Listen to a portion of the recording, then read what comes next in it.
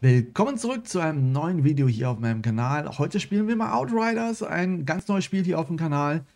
Wir schauen uns heute mal in diesem Guide die gigantische Lavaspinne an. Wie können wir sie am besten töten, welche Attacken hat sie und so weiter. Das Ganze kommt hier im Video.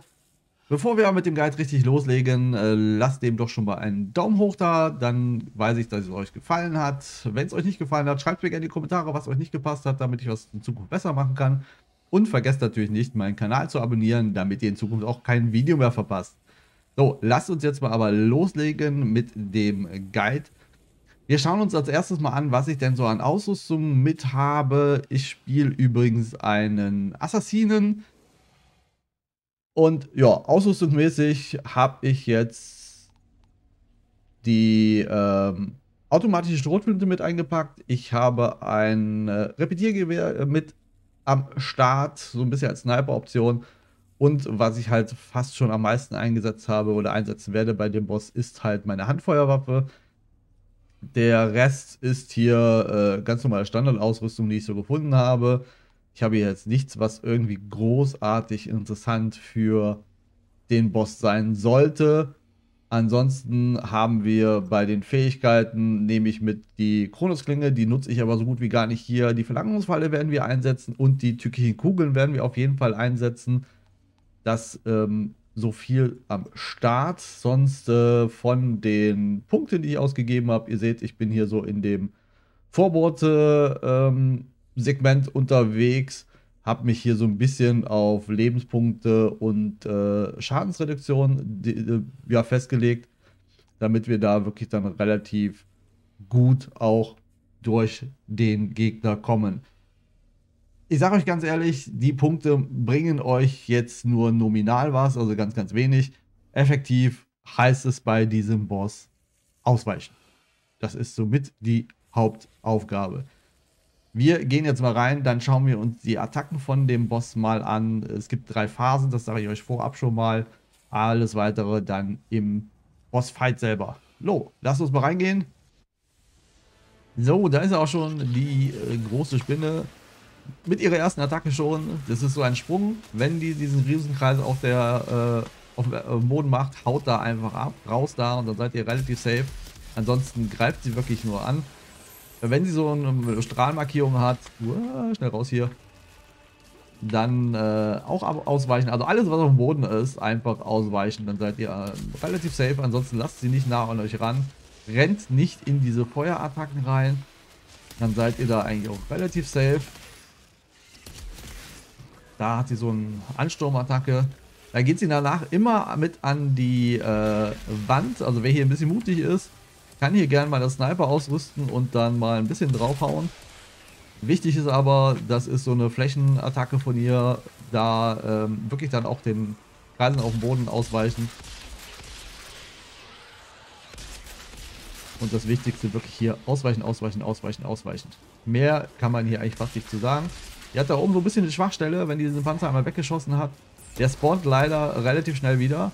Aber solange das offen ist, da oben, dieses gelbe draufschießen, da kriegt ihr A Leben zurück und B könnt ihr da am meisten Schaden jetzt machen. Also so als kleiner Heal-Effekt nutzt das Ding aus. Jetzt rennt sie wieder in die Wand. Wir können jetzt hier einfach mal unseren Zeitverzögerungseffekt wirken, dass wir da wirklich ein bisschen safe sind. Dann kommen wir da raus. Das ist eigentlich so eine relativ coole Attacke für oder äh, Gegenmaßnahme dafür.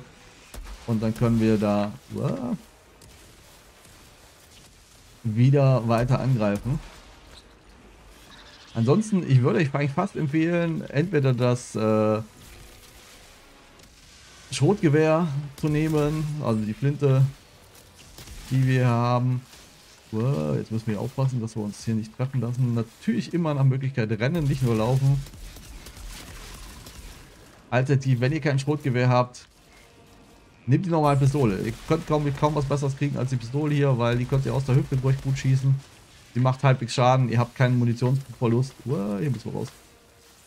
Und wenn ihr mal wirklich in diesen bösen Bereich reinkommt, dass ihr kaum noch Leben habt, ja dann rennt, uah, weicht allem aus, was ihr könnt, bis eure Regeneration sich so ein bisschen zurückgefahren hat, dass ihr da wieder ein bisschen Leben habt. So, jetzt müsst ihr hier ein bisschen aufs Timing achten. So, jetzt sollten wir mal rennen, weil dieser äh, Wirkungsbereich wird jetzt gleich zusammenbrechen. Wenn sie uns dann erwischt sind, bin ich ganz schön böse dran.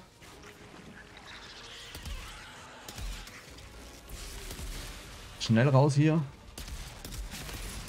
Und vor allen Dingen achtet darauf, dass ihr wirklich die Spinne in der Ferne haltet. Ne? Wenn sie zu euch durch rankommt, dann seid ihr relativ schnell auch platt.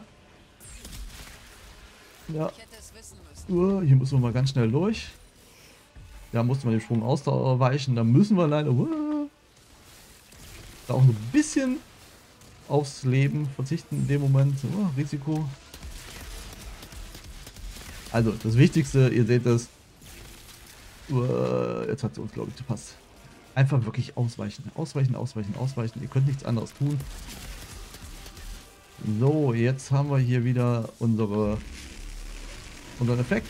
Wir hauen hier, glaube glaub ich, mal alles rein, was wir gerade haben. Und nutzen das uns Schaden aus. So, jetzt rennen wir schnell weiter, weil wir sind so gleich tot, wenn uns hier alles trifft.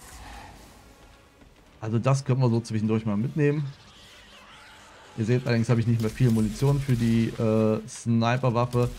Das ändert sich glücklicherweise im zweiten Part gleich. Also wenn wir den ersten hier überlebt haben, das jetzt der Fall ist, kommt die zweite Runde, die wird noch ein bisschen böser. Aber der große Vorteil ist, hier kommen Mobs, die können wir töten. Ich würde euch hier die Pistole wirklich empfehlen für, wenn wir die Mobs nämlich töten, droppt die, droppen die Munition.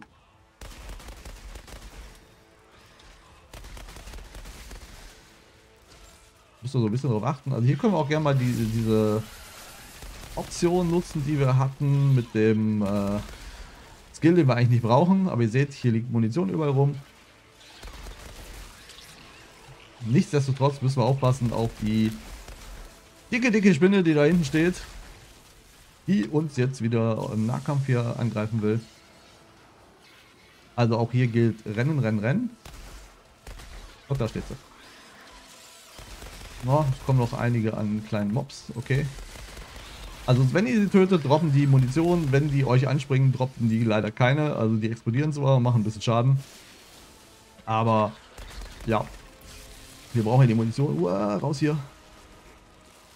Das Schöne ist, nach jeder, ähm, ich sag mal, Instanz, die wir da oben machen müssen von diesen drei Abschnitten, kriegen wir volles Leben und volle, äh, volle äh, Panzerung wieder. Das sollten wir natürlich so weit wie möglich aufrechterhalten. Uhr, raus da.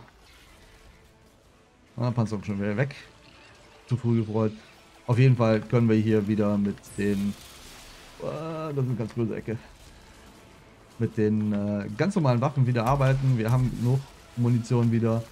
Die ist, glaube ich, wieder an die Wand gesprungen. Da oben ist sie, genau. Und die geht jetzt ein bisschen höher. Also wir haben ein bisschen mehr Zeit, da oben äh, hinzukommen. Und nach Möglichkeit natürlich immer da auf dieses, äh, so, jetzt rennen wir mal wieder hier, ähm, auf diese Schwachstelle schießen.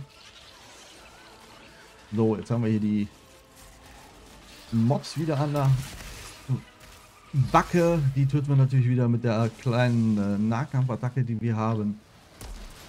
Ansonsten gucken wir, dass wir hier wirklich äh, relativ gut durchkommen. Ihr seht bei dem äh, bei der zweiten Runde hat die als Attacken wirklich einmal diesen Lava-Schwall, sag ich mal, den sie schießt. Die Sprungattacke ist immer noch am Start. Ansonsten lässt sie hier viele Gegner für uns übrig. Mit der wir aber Munition bekommen können. So, sie springt wieder in die Wand. Wir wechseln auf die Sniper. Und schießen ihr natürlich so viel wie möglich da oben dann hin. Das können wir hier recht gut ausnutzen. Uah, da war ich sogar zu langsam. Aber ihr seht, wir sind recht gut durchgekommen.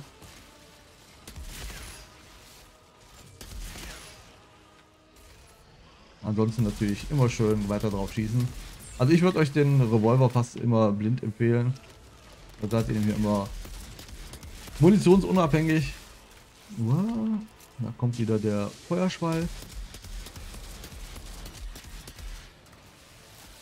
Auch hier gilt natürlich ganz oben, was wir in dem, der ersten Phase schon hatten, wenn ihr oben diese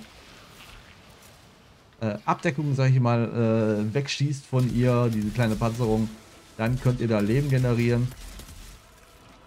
Und natürlich haltet sie auf Abstand. Ne? Also nicht zu nah rankommen lassen. Das ist immer... Tja, als wenn ich es gesagt hätte, ne? Da oben. Ihr habt, seht es, ihr könnt da oben richtig äh, jetzt abkassieren. Uh, schnell hier raus. Leider sind die Panzerungen, wie gesagt, zu schnell wieder zu. So, sie springt wieder in die Wand. Wir wechseln auf die Sniper, hauen alles rein, was wir haben können. Und dann gibt es da auch Damage ohne Ende. So, das war schon die zweite Instanz. Jetzt wird es noch ein bisschen kniffliger. Da geht es mehr ins Movement. Da würde ich euch dann wirklich empfehlen, bleibt primär bei dem Revolver oder der Schrotflinte. Ähm, die wird jetzt so einen Lavaschwall um sich herum machen. Das werdet ihr jetzt relativ schnell sehen. Ups, das war die falsche. Genau, wenn ihr diese Markierung hier auf dem Boden seht, müssen wir hier einfach laufen, damit wir relativ safe sind. Wir wechseln auch direkt auf mein Schrot, auf Schrotgewehr. Liegt noch Munition von eben, das bleibt glücklicherweise liegen. Ähm, wir dürfen nicht zu nah rankommen, weil dann kriegen wir Schaden durch die Lava, die vor uns ist. Hinter uns kommt der gleiche Schwall. Also müssen wir da laufen. Ist wie so eine Drehtür, sag ich jetzt mal. Ansonsten immer schön draufschießen. Und aufpassen, dass wir nicht reinkommen. Nicht in der Lava stehen bleiben. Wenn die diese Attacke macht, also wenn so ein Kreis auf dem Boden erscheint, einfach rauslaufen. Das kennen wir ja schon die ganze Zeit aus dem Spiel. Ansonsten schießt hier wirklich einfach blind drauf. Am besten, effektiv sind glaube ich diese, ähm, ich sag mal, diese Beulen von ihr. So, hier muss wir aufpassen, wie gesagt. Ein bisschen gemein ist, dass hier gerade auch noch die ganze Zeit Viecher hinter mir kommen und mir anspringen und explodieren. Aber, ja, haben wir also überstanden. So. Und hier geht es eigentlich wirklich nur Überleben, Überleben, Überleben. Ja, die macht hier ihre, ich sag mal, Schlagattacken. Ihren, äh, Feuerschwall, den sie um sich rumbringt. Und dann ist das eigentlich auch kein Thema. Oh, habe ich keine Munition mehr fürs Sprütgewehr? Ne, habe ich nicht mehr. Ah, hier liegt da ein bisschen was, das nehmen wir mit. Also wie gesagt, hier nicht zu nah ran, sonst kriegt ihr die Lava im Vorfeld ab. Ein bisschen auf die Gegner hier achten, die können wir natürlich dann dabei killen und uns vielleicht noch ein bisschen Munition generieren. Also ihr seid sonst hier relativ safe. Könnt also auch eigentlich während des äh, Schweins hier auf die schießen. Das mache ich aber ungern, weil ich da lieber äh, sicher bin und laufe. Oh, nein, da renne ich nicht hin. Und holt euch dann die Munition hier, nachdem ihr sie da ein bisschen äh, ausgetrickst habt, dass sie euch nicht trifft. Ausmanövriert, würde ich sogar fast sagen, wäre richtiger. Ähm, achtet so ein bisschen auf die Karte immer, dann seht ihr dann auch, äh, wo denn da gerade viele Gegner sind. Und wenn ja, dann hauen wir auch mal hier gerne unsere Karten raus. Naja, die Munition könnt ihr liegen lassen, die könnt ihr auch um, äh, ich sag mal, nächsten Vorbeikommen aufsammeln. Hier ein bisschen aufpassen. Gerade am Ende ist immer relativ viel Lavaschwall da. So, jetzt wird sie wieder äh, ihre Nahkampfattacke normalerweise machen. Also da aufpassen und dann weg. Genau, und dann können wir einfach hier weiterschießen. Dann ist das eigentlich nur noch eine relativ easy going Sache. Also das, das Schlimmste, was euch hier passieren kann, ist, dass ihr zwei Minuten länger braucht, weil ihr einfach ein bisschen mehr ausweicht. Aber dafür überlebt ihr das Ganze auch. So, jetzt mal hier wieder mehr ausweichen, weil ich habe den Schwall schon fast hinter mir. Also wenn ihr uns euch einholt, dann kommt ihr aus der Nummer fast äh, nur noch, ja, tot raus, um ehrlich zu sein. Es ist äh, sehr schwierig, wenn der euch trifft, dass ihr das überlebt. Ich habe eigentlich noch nicht probiert, das in die andere Richtung einfach mal durchzulaufen, ob das hilft, wenn ich da einfach nach äh, hinten dann renne, aber das Risiko wollte ich nicht eingehen. Wir machen hier den Boss lieber etwas lockerer und saber.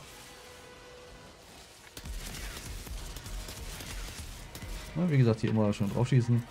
Ihr seht oben auf der Karte, spawnen hier schon wieder einiges an Gegnern.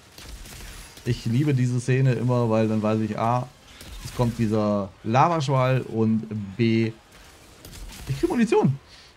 Oh, nicht in die Lava rennen. Also ein bisschen auch auf die Umgebung hier achten, dann seid ihr das safe. Ja, also ihr merkt ja hier vorne, ihr kriegt schon keinen Schaden mehr, selbst wenn ich da durchlaufe. Ansonsten können wir da ein bisschen drauf hauen.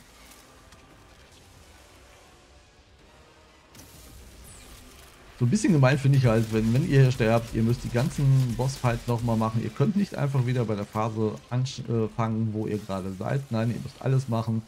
Deswegen lieber auf Nummer sicher und lieber etwas langsamer.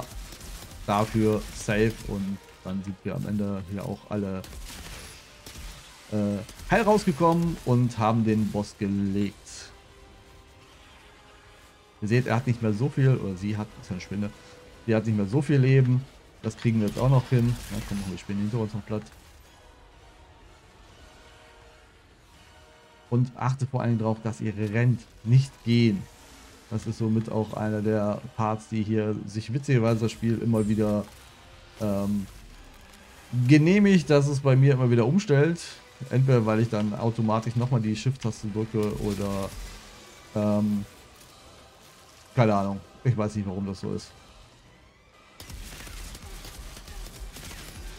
So, that's it. Ihr seht, es hat, sie hat kein Leben mehr.